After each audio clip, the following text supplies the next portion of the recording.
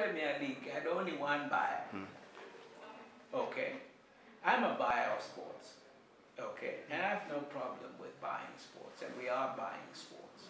And I can tell you, if Premier League becomes available, we would bid.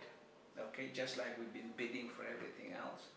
And we will bid to get whatever we need for our platform. Hmm. But sport is not Premier League.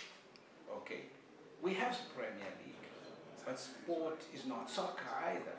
We have to make sure on, on, on, on a TV platform that we have as many sports, different types of sports. You see, for example, we have um, on Kwese Free Sport, we, we show Formula One for free. All the races of Formula One, we are showing them for free. The reason being, if you if you actually look even Premier League, people in Nigeria actually get to see it, given its cost? Less than a million. Okay, so we one of the reasons we show that game for free.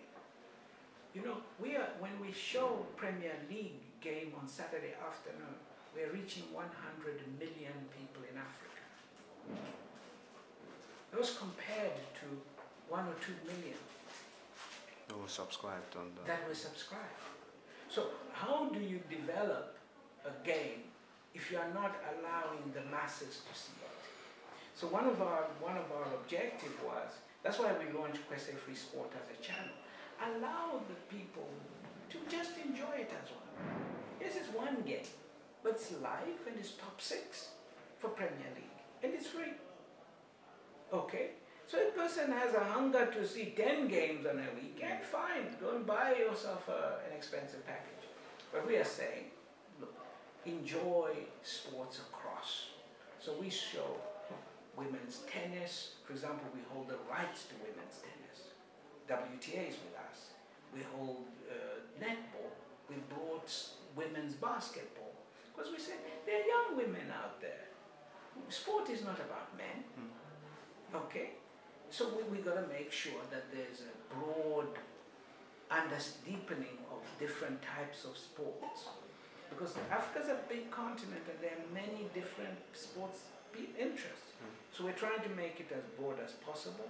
So that's why we have the ESPN channel. We brought it back. You know, we brought back the NBA channel. Mm-hmm. That's running 24 hours, all 96 games. We show that.